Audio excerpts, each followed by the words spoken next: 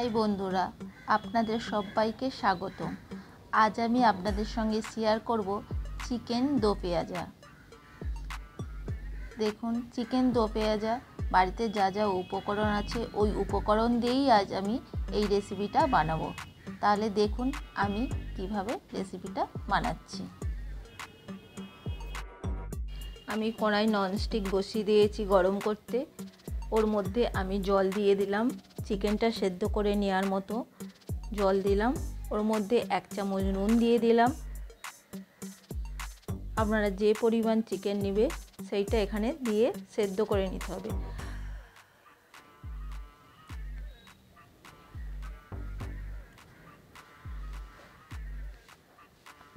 আমি এখানে পাঁচশোর মতন চিকেন দিয়েছি। চিকেনটা তিন থেকে চার মিনিট আমি সেদ্ধ করে নেব।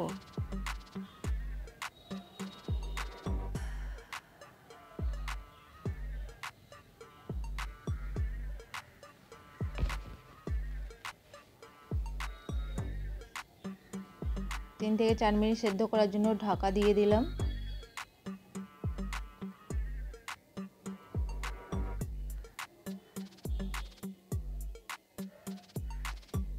চার মিনিট পর আমি খুলে দেখছি, দেখুন আমার চিকেনটা সেদ্ধ হয়ে গেছে।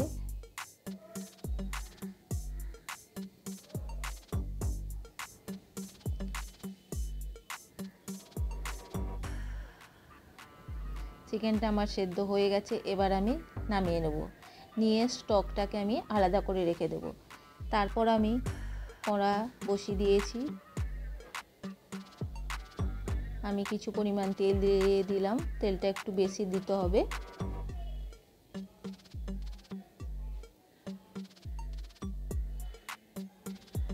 তেলটা গরম হয়ে গেলে ওর মধ্যে আমি তেজপাতা, শুকনো লঙ্কা, এলাচ, ফোড়ন দিলাম।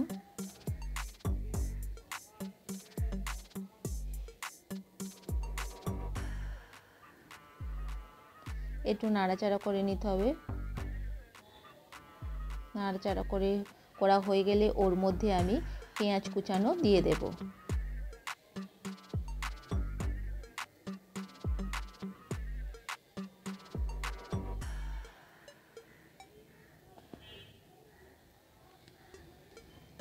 পেঁয়াজটা একটু নাড়াচাড়া করে নিতে হবে।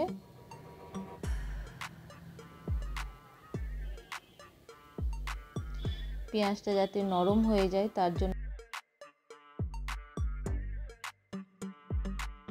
তার জন্য সামান্য লবণ দিলাম, চিনি দিলাম, দিয়ে পেঁয়াজটাকে ভালো করে ভেজে নিতে হবে।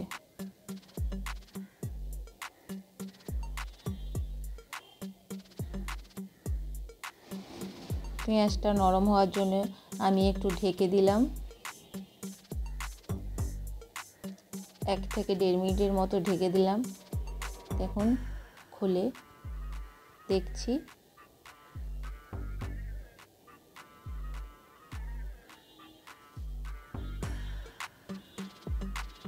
পেঁয়াজটা আমার নরম হয়ে গেছে, ওর মধ্যে আমি একটা টমাটো কুচি দিয়ে দিলাম।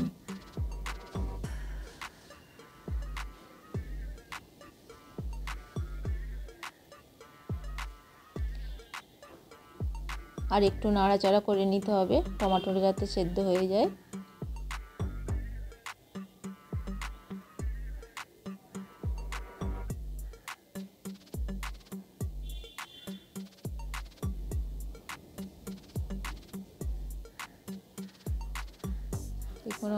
ভাজা হয়ে গেছে। ওর মধ্যে আমি আদা রসুন একসঙ্গে পেস্ট করা দু চামচ দিয়ে দিলাম।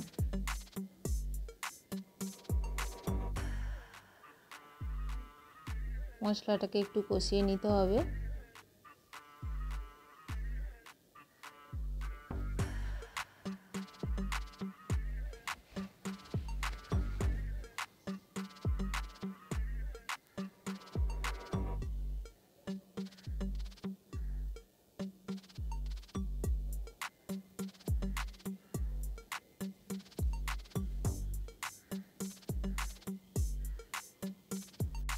আমার মশলাটা আমার কষানো হয়ে গেছে। ওর মধ্যে আমি দু চামচ শুকনো লঙ্কার গুঁড়ো, দু চামচ হলুদের গুঁড়ো দিয়ে দিলাম। আর একটু নাড়াচাড়া করে নিতে হবে মশলাটাকে। তার মধ্যে হাফ চামচের মতো কাশ্মীরি লঙ্কার গুঁড়ো দিয়ে দিলাম। মশলাটা যাতে ধরে না যায়, তার জন্যে খুব সামান্য জল দিলাম।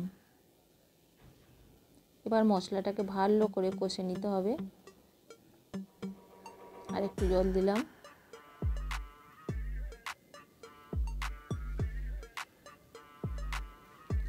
মশলাটা সেই জন্য একটু ঢেকে দিলাম। এক মিনিটের জন্য ঢেকে দিলাম। দেখুন, মশলাটা আমার তেল ছেড়ে দিয়েছে।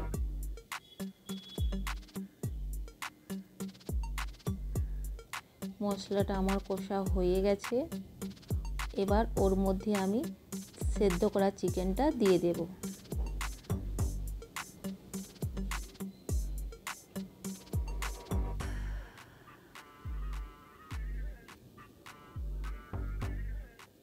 আমি চিকেনটা স্কিন সমেত দিয়েছি, আপনারা স্কিন ছাড়াও এখানে চিকেন ব্যবহার করতে পারেন। এবার চিকেনটাকে আমি ভালো করে কষে নেব। মশলাটা যাতে গায়ে লেগে যায়।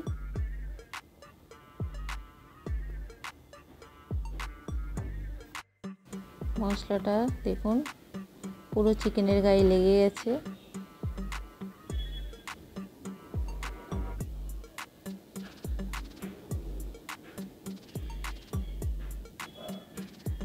জাস্ট দু মিনিট একটু কষে নিতে হবে।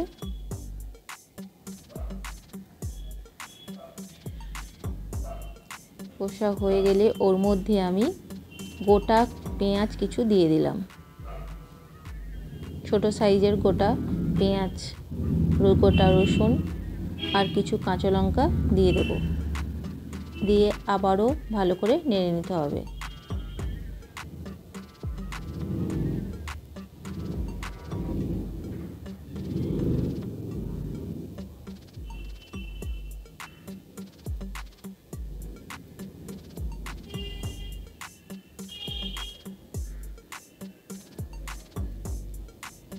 দেখুন মশলাটা আমার কষা হয়ে গেছে।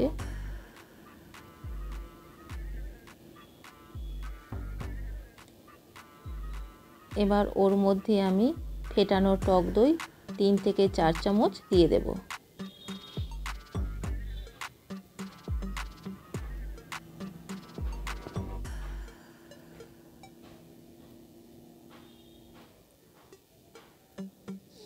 আর একটু নাড়াচাড়া করে নিতে হবে। টক দইটা যাতে পুরো মাংসের গায়ে লেগে যায়, ভালো করে মিশে যায়।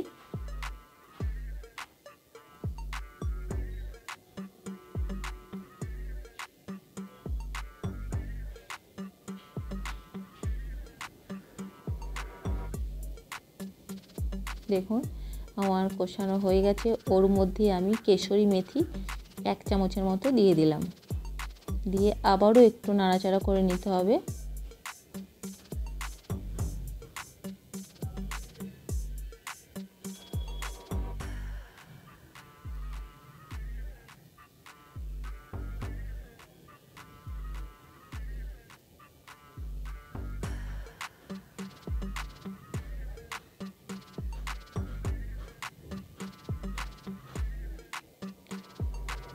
আমার কষা হয়ে গেছে। আমি কিছু সময়ের জন্য একটু ঢেকে দেব। দু মিনিট ঢেকে দিলাম। দু মিনিট পর ঢাকনা খুলে খুললাম।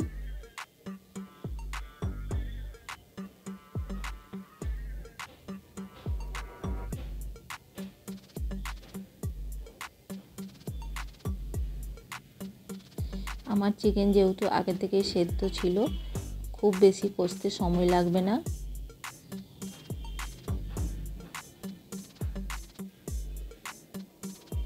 এবার আমি চিকেন সেদ্ধর যে স্টকটা ছিল, ওইটা আমি দিয়ে দিলাম। আর জল দেব না আলাদাভাবে, ওই স্টকেই মাংসটা সেদ্ধ হয়ে যাবে বাকিটা।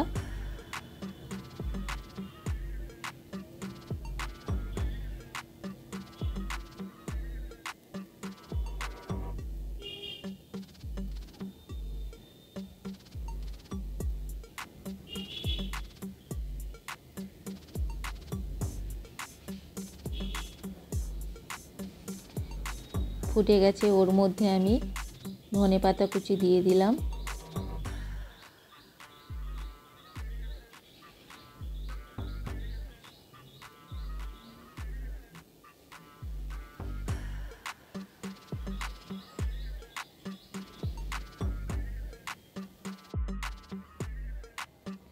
পাতি লেবুর সে পাতি লেবুর রস দু চামচের মতো দিয়ে দিলাম।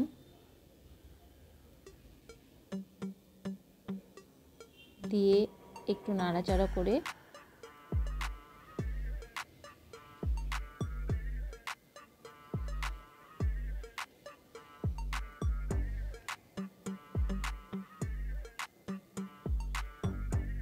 স্বাদ অনুযায়ী লবণ দিলাম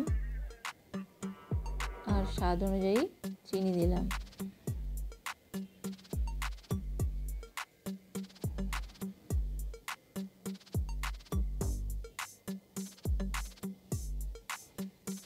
ঝোলটা ফুটতে সময়, ফুটতে দিতে হবে।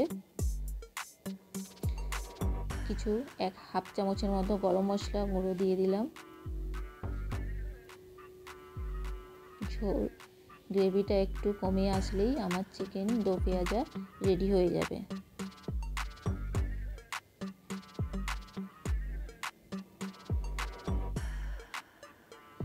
দেখুন, আমার চিকেন দো পেঁয়াজা রেডি হয়ে গেছে। এবার আমি নামিয়ে নেব।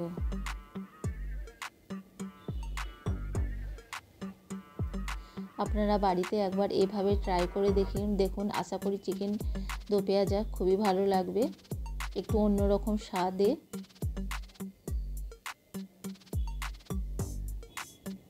প্লিজ আপনারা বাড়িতে ট্রাই করুন।